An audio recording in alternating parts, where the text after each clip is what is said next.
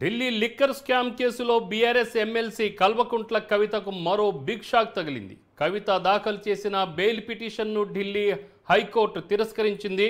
దర్యాప్తు సంస్థలు ఈడీ సిబిఐల వాదనలతో ఏకీభవించిన హైకోర్టు కవితకు బెయిల్ మంజూరు చేసేందుకు నిరాకరించింది. దీంతో కవితకు మరోసారి నిరాశ ఎదురైంది. కాగా ఢిల్లీ లిక్కర్ స్కామ్ కేసులో అరెస్ట్ అయిన కవిత జ్యుడిషియల్ రిమాండ్లో భాగంగా ప్రస్తుతం తిహార్ జైల్లో ఉన్నారు.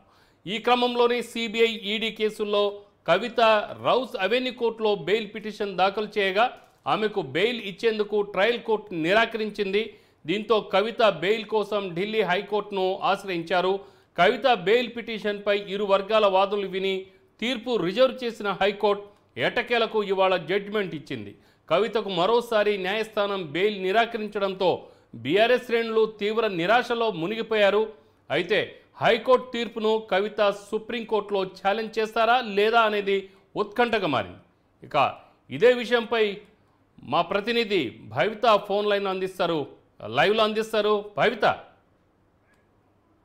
బీఆర్ఎస్ ఎమ్మెల్సీ కవితకి ఢిల్లీ హైకోర్టులో మరోసారి చుక్కెదురైందని చెప్పి చెప్పుకోవాలి. ఇప్పటికే ఇటు ఈడీ అటు సిబిఐ రెండు కేసుల్లో ఉన్నటువంటి కవిత రెండిటిలోనూ బెయిల్ కోసం దాఖలు చేసే పిటిషన్ వేసింది. అయితే ఈ పిటిషన్ని ఈరోజు ఢిల్లీ హైకోర్టు విచారించింది. ఈ విచారణలో ఇరువురి న్యాయ ఇరువురి వాదన విన్న తర్వాత ఢిల్లీ హైకోర్టు మరోసారి బెయిల్ నిరాకరించింది. అయితే మొదట మార్చి పదిహేనున ఢిల్లీ ఎక్సైజ్ పాలసీలో కీలక పాత్ర పోషించిందని చెప్పేసి ఈడీ కవితను తన నివాసంలో అరెస్ట్ చేసిన విషయం మనకు తెలిసింది. అప్పటి నుంచి కూడా అరెస్ట్ చేసిన అప్పటి నుంచి కూడా ఢిల్లీ తిహార్ జైల్లో కవిత ఉంటున్నారు. అప్పటి నుంచి కూడా విచారణ కొనసాగిస్తూనే ఉన్నారు. అయితే మరోసారి ఈడీ కేసులో అరెస్ట్ అయినటువంటి కవితను ఢిల్లీ లిక్కర్ స్కామ్లో విచారణ కొనసాగించినటువంటి సిబిఐ మరోసారి కవిత జైల్లో ఉండగానే సిబిఐ కూడా మరోసారి అరెస్ట్ చేసింది. ఈ రెండింటిని కూడా ద బెయిల్ కోర్టు కవిత పిటిషన్ దాఖలు చేసింది. అయితే ఈ రోజు విచారించిన న్యాయస్థానము ఢిల్లీ హైకోర్టు మాత్రం అక్కడ నిరాకరించిందని చెప్పేసి మనం చెప్పుకోవచ్చు. అయితే ముఖ్యంగా ఇటు సిబిఐ అటు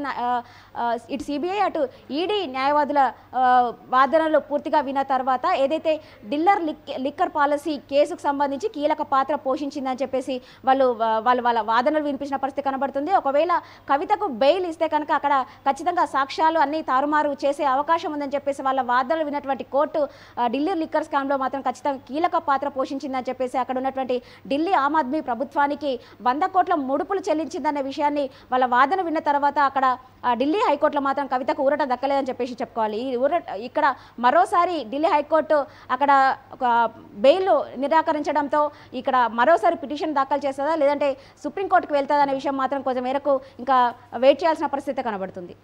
భవిత ఇప్పుడు యాక్చువల్గా తొంభై రోజుల్లో ఛార్జ్ అయినా దాఖలు చేయాలి లేదు అని అంటే దాని మీద ఏదో ఒక నిర్ణయం తీసుకోవాలి. అలాంటిది ఇప్పటివరకు చేయలేదు. పైగా మార్చి పదిహేనో తేదీ అరెస్ట్ చేశారంటే ఈ రోజు నుంచి దాదాపు మూడు నెలలు దాటిపోయింది.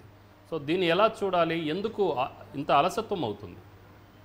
ముఖ్యంగా ఈ చూసినట్లయితే దాదాపుగా తనకున్నటువంటి లావాదేవీలకు సంబంధించి తనకున్నటువంటి వాణిజ్య వ్యాపారాలకు సంబంధించి ఆమ్ ఆద్మీ పార్టీకి సౌత్ గ్రూప్కి దాదాపుగా వంద కోట్ల ముడుపులు చెల్లించిందని చెప్పేసి ఇప్పటికీ సిబిఐ అటు ఈడీ న్యాయవాదులు వినిపిస్తున్నటువంటి పరిస్థితి మనకు తెలిసిందే. అయితే ముఖ్యంగా వాళ్ళ యొక్క వాణిజ్య ఏదైతే ఒకవేళ బెయిల్ ఇస్తే కనుక ఖచ్చితంగా సాక్ష్యాధారాలు సాక్ష్యాలు ఆధారాలు అన్నీ తారుమారు చేసే అవకాశం ఉందనే ఒకే ఒక కారణంతో ఇటు వాళ్ళు వాదనలు వినిపించడము అదే ఢిల్లీ న్యాయస్థానం కూడా దాన్నే అంగీకరించడంతో పాటే ఇప్పటికీ హండ్రెడ్ డేస్ దాటుతున్నప్పటికీ కూడా వాళ్ళకు కోర్టు బెయిల్ను నిరాకరిస్తుందనే విషయం అని చెప్పుకోవచ్చు.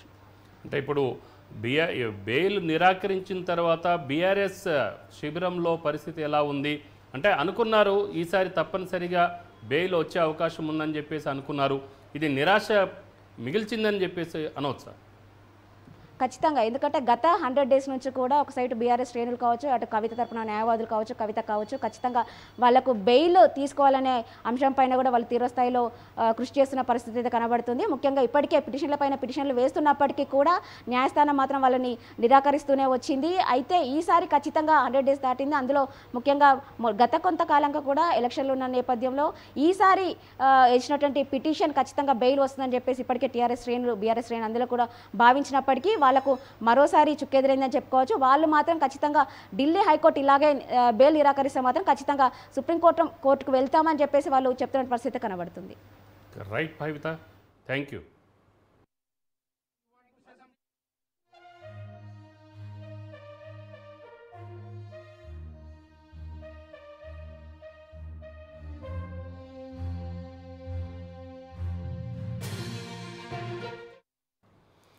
Delhi liquor scam కేసులో బీఆర్ఎస్ ఎమ్మెల్సీ కల్వకుంట్ల కవితకు మరో బిగ్ షాక్ తగిలింది.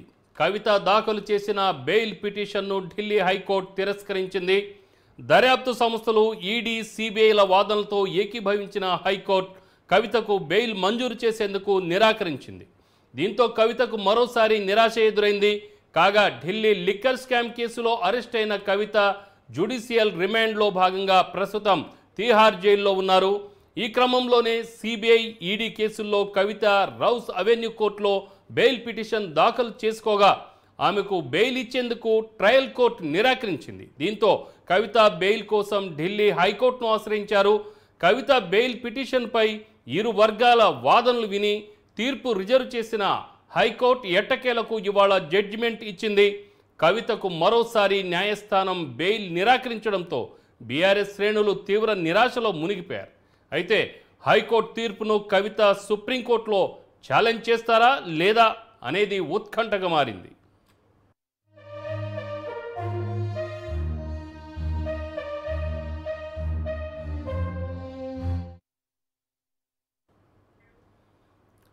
దేశమంటే నాకు